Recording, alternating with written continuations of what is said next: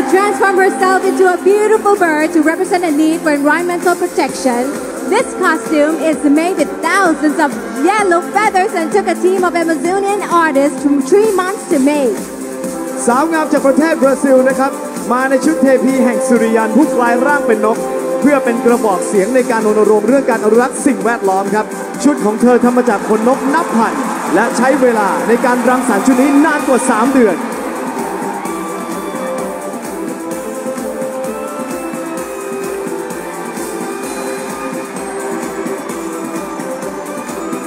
British Virgin Islands Cambodia It took more than 60 days to produce this masterpiece, masterpiece named the Kingdom of Wonder. The backdrop of the country map features Cambodia's most famous icon, Angkor Wat, accompanied by some of its wall carvings representing nationality, kings, and civilization. ชุดประจำชาติของสาวงามจากกัมพูชาชุดนี้มีชื่อว่า The Kingdom of Wonder ชุดของเธอใช้เวลาในการรังสรรค์มากกว่า 60 วันนะคะ บนแผนที่ประเทศนั้น มีภาพสถานที่ท่องเที่ยวอันโด่งดังของประเทศ คือนครวัดค่ะ ชุดของเธอยังแสดงถึงอัตลักษณ์ที่สำคัญของกัมพูชาอย่างพระมหากษัตริย์ และอารยธรรมของประเทศค่ะ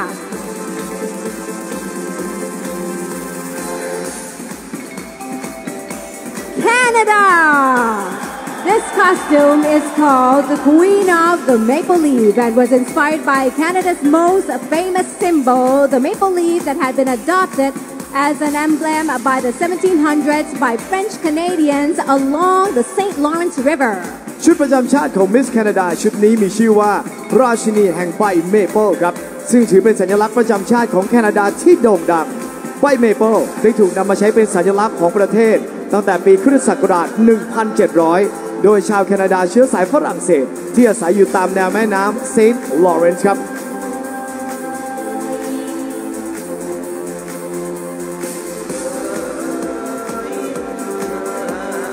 Ecuador is located in the Equinas. It is a privileged land. This costume is inspired by the Amazon region. It pays homage to the thick jungle, rivers, and waterfalls, but above all, the beautiful plumage.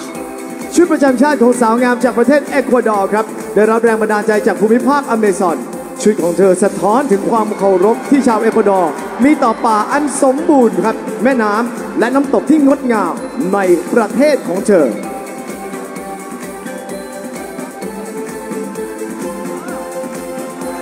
Egypt This costume is inspired by the festival of Panchimalco. It is a pre-Columbian festival with more than 500 years of history. Masks and magics are often used in the dances at these festivals. ชุดประจำชาติของสาวงามจากเอลซาวาดอร์ครับได้รับแรงบันดาลใจมาจากเทศกาลแพนซิมาโกซึ่งเกิดขึ้นก่อนเทศกาลของชาวโคลัมเบียกว่า 500 ปีครับ โดยผู้เข้าร่วมงานเทศกาลจะสวมหน้ากากที่สวยงามและถือมีดพระเต้นรำกันอย่างสนุกสนานในเทศกาลนี้ครับ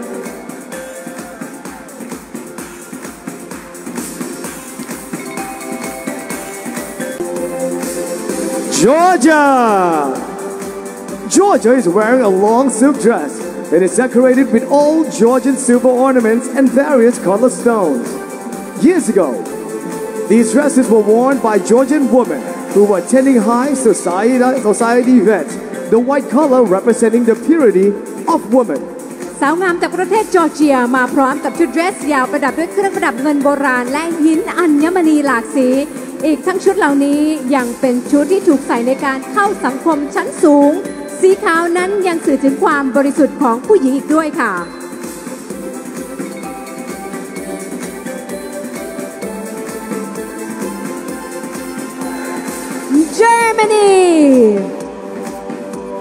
everyone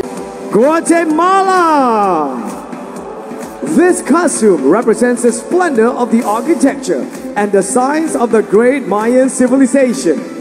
Behold the cyclic movements of the moon that gave us the Mayan calendar and the purity of the Mayan princesses. ชุดประจำชาติของสาวงามจากกัวเตมาลาแสดงให้เห็นถึงความงดงามของสถาปัตยกรรมและวิทยาศาสตร์ของชาวมายันที่เฝ้าดูการเคลื่อนไหวตามวัฏจักรของดวงจันทร์ ที่ทำให้เกิดปฏิทินและยังแสดงถึงความบริสุทธิ์ของเจ้าหญิงชาวมายันอีกด้วยค่ะ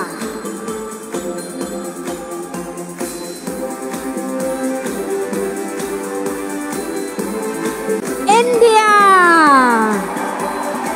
This Indian warrior princess celebrates the diversity of women's style and their unique personalities, as well as the empowerment of women. Angel Silver Metal work really brings the whole look home. This costume weighs 105 pounds. ว้าวสาวงามจากอินเดียนะครับ มาในชุดเจ้าหญิงนักรบชาวอินเดียนที่ต่อสู้เพื่อความหลากหลายของสตรี ชุดของเธอแสดงถึงพลังของผู้หญิงที่ลุกขึ้นยืนหยัด เพื่อสิทธิของตัวเอง ชุดนี้มีน้ำหนักถึง 50 กิโลกรัมครับ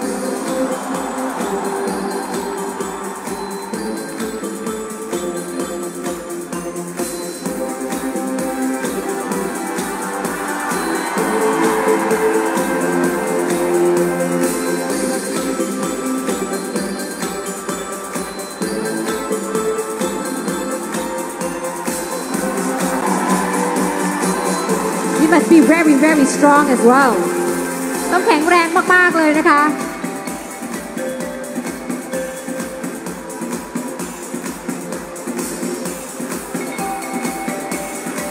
Indonesia.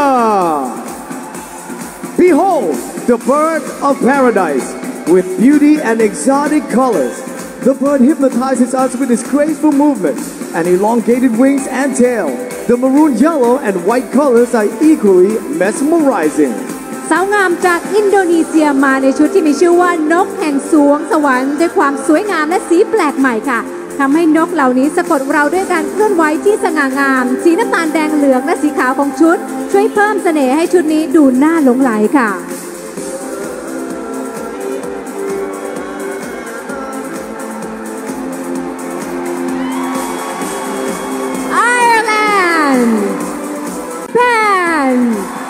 She's wearing the Kunoichi costume, which is a female version of a ninja. However, this year Japan will include a small surprise. Watch with wonder as she transforms into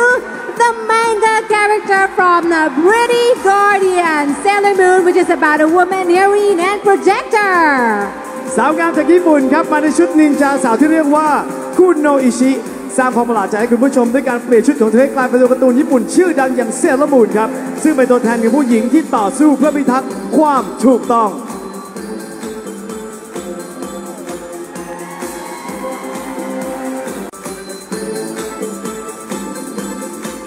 Laos! This costume is called Stream of Generosity and is inspired by Kinnery, a half human, half bird spiritual creature in traditional Lao folklore. The costume is a token of appreciation to the love and support Laos has received from those around the world. สาวงามจากประเทศลาวครับเธอมาในชุดที่มีชื่อว่า Stream of Generosity หรือกระแสแห่งความเอื้ออาทร ชุดของเธอได้รับแรงบันดาลใจมาจากกินนรี ใส่ครึ่งมนุษย์ครึ่งนก ตามคติชนของชาวลาวครับ ชุดประจำชาติชุดนี้เป็นสัญลักษณ์ของคำขอบคุณของชาวลาว ต่อความรักและการสนับสนุนที่ได้รับจากผู้คนทั่วโลก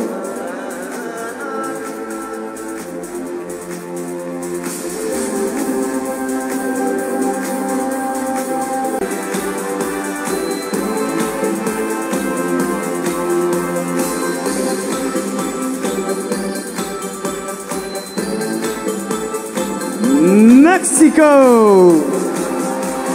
Behold the Jaguar Queen, representing the powerful Jaguar god of Mayan culture. This is made in the pre-Hispanic style of the noblewoman of that time. The costume is made of cloth, plastic stones, feathers, and leathers. สาวงามจากเม็กซิโกมาในชุดราชินีเสือจากัวที่ทรงพลัง ตามคติความเชื่อของชาวมายัน ชุดนี้ถูกออกแบบในรูปแบบ pre-Hispanic style ของสตรีชั้นสูงในยุคสมัยนั้น ชุดของเธอทำจากผ้า หินพลาสติก ขนนกและหนังค่ะ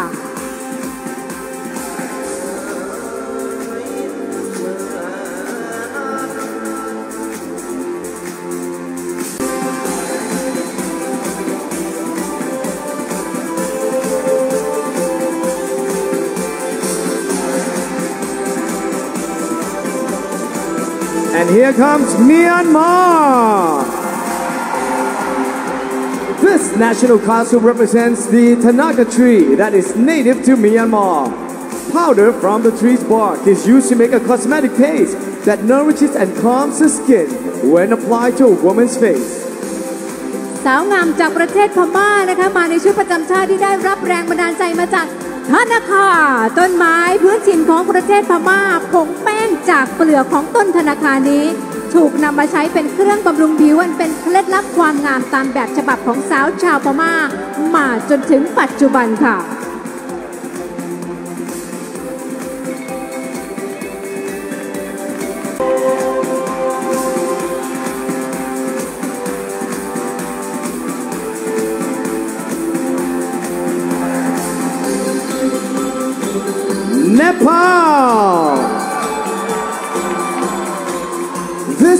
sarong-like dress with eye-catching embroidery of pearls represent the goddess Avalokiteshvara. It's believed the goddess gazes down at the world to help relieve the suffering of others. สาวงามจากประเทศเนปาลมาในชุดสยองประยุกต์ที่ปักประดับด้วยไข่มุกสวยงามสะดุดตานะคะสื่อถึงเทพีอัลวโลกิเทสบาราที่ชาวเนปาลเชื่อว่าเธอคอยจ้องมองลงมาบนโลกเพื่อช่วยบรรเทาความทุกข์ยากทรมานของผู้คนค่ะ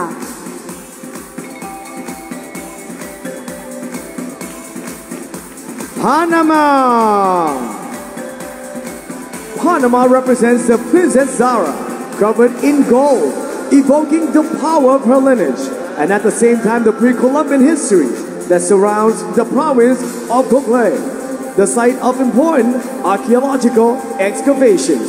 The costume is made of more than 3,500 jewels of golden beads. สาวงามจากพานามาสวมใส่ชุดประจำชาติที่ได้รับแรงบันดาลใจมาจากชุดของเจ้าหญิงสาวราที่เต็มไปด้วยทอง แสดงถึงอำนาจของราชวงศ์เทิร์นในยุครีโคลัมเบียนแพร่กระจายไปทั่วเมืองโทโคนะคะ ซึ่งเป็นสถานที่สำคัญทางโบราณคดีที่มีการขุดพบเครื่องแต่งกายที่ทำจากอัญมณีสีทองกว่า 3,500 ชิ้นค่ะ และทั้งหมดนี้คือสาวงามผู้เข้าประกวด มิสยูนิเวิร์ส 2018 กลุ่มที่ 3 ในชุดประจำชาติค่ะ ขอเสียงปรบมืออีกสักครั้งหนึ่งนะคะ เดี๋ยวเราจะพักกันสักครู่ค่ะ แล้วจะกลับมาพบกับสาวงามกลุ่มสุดท้ายนะคะ is from the jungle region of Peru so she grew up hearing stories about sirens and spirits that live in the jungle She decided to share some of the stories with you via this costume. As legend has it, one of the sirens turned herself into a beautiful woman to captivate small towns by the river with her flawless voice. สาวงามจากเปรูคนนี้ครับ เธอมาจากพื้นที่ป่าของเปรูครับ เธอจึงเติบโตมากับความเชื่อและเรื่องราวของลึกลับของป่าแห่งนี้ ชุดของเธอแสดงถึงเรื่องราวของตำนานของผู้ตนหนึ่งที่ได้แปลงกลายเป็นหญิงสาวเลอโฉม ที่จะกดเมืองทั้งเมืองเล็กๆริมน้ำแห่งนี้ไว้ได้ด้วยเสียงอันไพเราะของเธอครับ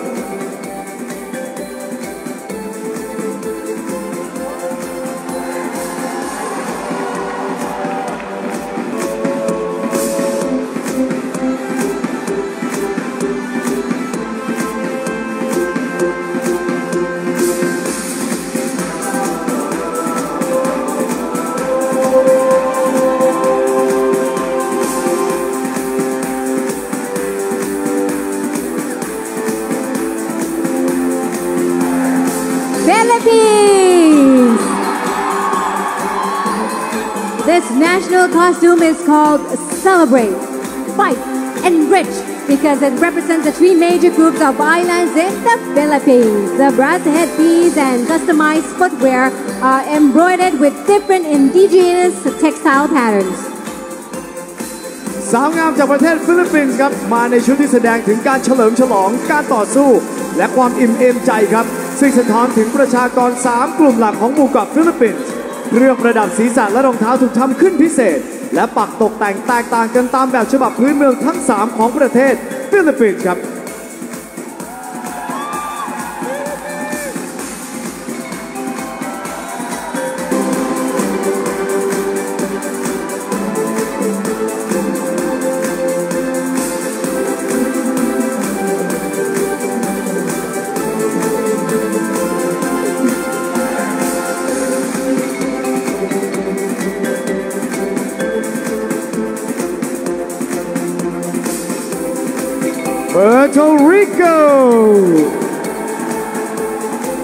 Puerto Rico's national costume represents the winds of Hurricane Maria,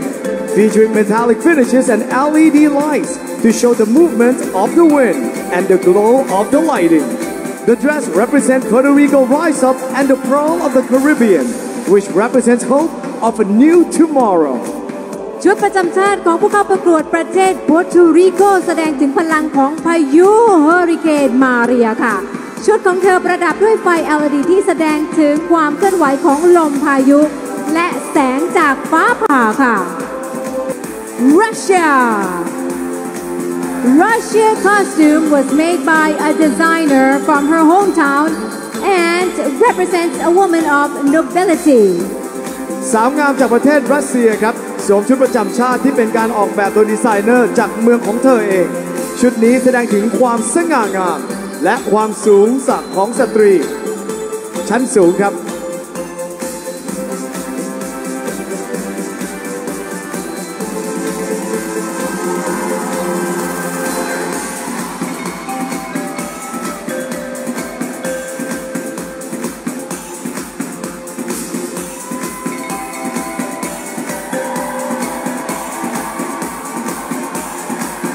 Saint Lucia South Africa. South Africa is wearing a costume representing the national bird of South Africa, the blue gray. Over 1,000 bluish gray and black feathers were hand placed on the costume, and the headpiece is encrusted with crystals depicting the bee. สาวงามจากประเทศแอฟริกาใต้คนนี้ครับสวมชุดประจำชาติที่ได้รับแรงบันดาลใจมาจากนกบลูเครนซึ่งเป็นนกประจำชาติของเธอครับ ชุดของเธอนี้ประดับด้วยขนนกสีเทาและสีดำมากกว่า 1,000 ชิ้น ส่วนเครื่องประดับศีรษะนั้น ประดับด้วยคริสตัลเป็นรูปปากของนกบลูเครน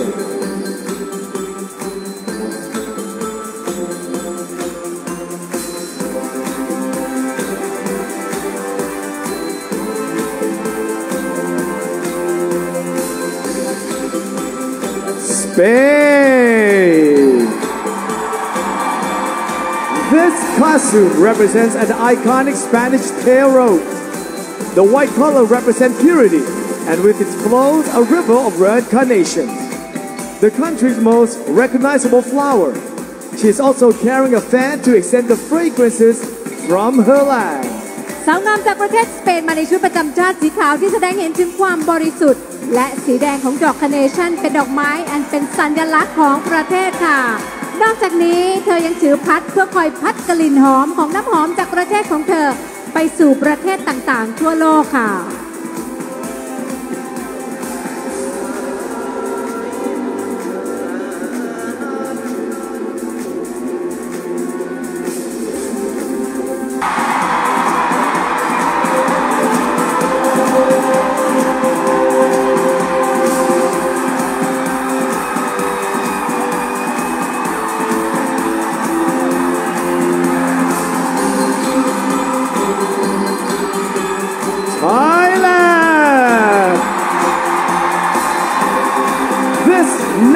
costume is called Shang, the icon of Siam.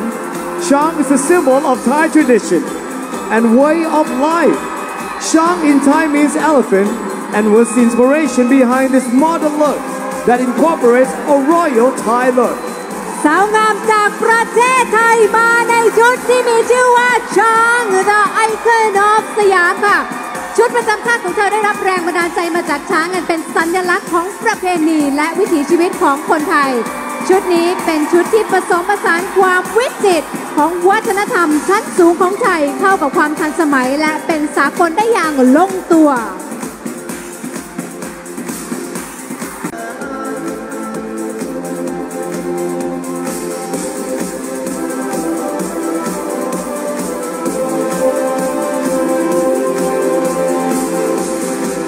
Venezuela. Venezuela is dressed as Guaixia, the goddess protector of nature, who often takes the form of blue butterfly. ต่างกันไปค่ะ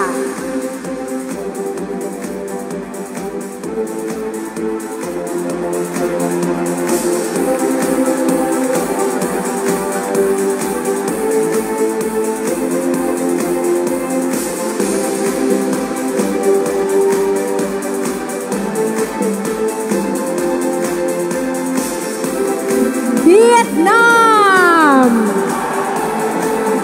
This costume aims to introduce authentic Vietnamese cuisine to the world. Banh mi is a delicacy that includes herbs, pork filling, and raw vegetables. The designers subtly added various colors to this delicious costume. ชุดประจำชาติของประเทศเวียดนามชุดนี้นะครับต้องการที่จะนำเสนออาหารที่โด่งดังของประเทศเวียดนาม อย่างบ้านมี่ให้ปรากฏสู่สายตาชาวโลก